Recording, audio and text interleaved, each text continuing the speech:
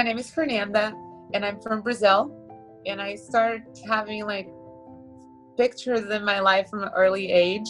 I started like scanning the pictures because I was going to travel, and I want to be able to travel and at any quick moment just to look at my phone and look at the pictures that I had left behind. I wanted to find a way to have those memories with me, especially because my grandparents were in Brazil and I was living in California at the time. And I literally just Googled Best app to scan your photos. And then I found Photomyne. And I was like, this is amazing. Like, everyone should have this. And I caught myself like scanning my pictures. That was like my first contact with Photomyne, and I loved it. So I was traveling to Brazil on a work trip, and I told my aunt, hey, I found this app that it scans pictures. Let's scan pictures together. My dad passed away when I was nine, so like 23 years ago. And we were able to look at pictures of my dad and not with like a sad feeling, but it was just so comforting and very therapeutic scanning them and being able to have those pictures on my phone right now. It's the world to me.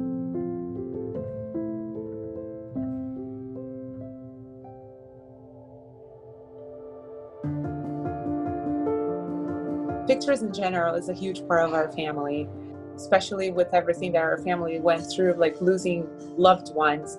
You know that pictures is like all we have. I started scanning the pictures because I lost my brother three years ago. And that was the way that I wanted to have my brother with me at all times. So that's how it started. It's just like so much that you can carry photo albums with you, right? But you can you always carry your phone.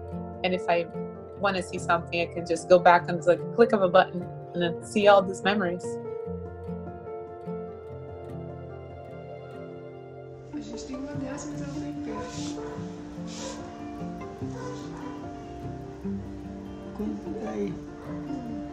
Scanning pictures with my family was really special, especially with my grandpa, because like he was diagnosed with Parkinson's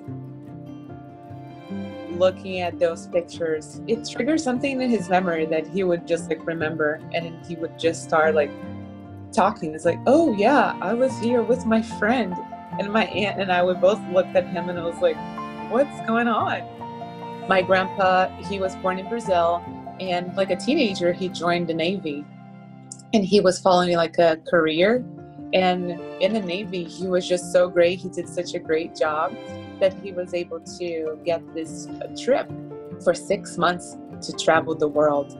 And that's how my grandpa, from like a simple town in Brazil, was able to see the world. We grew up with that, with grandpa talking to us about a world that is outside.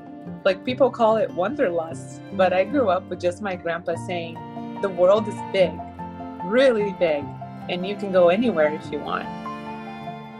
At one point, I was visiting the same places that my grandpa visited before. I went to Italy and I was like looking to find the same position that my grandpa was at the Coliseum.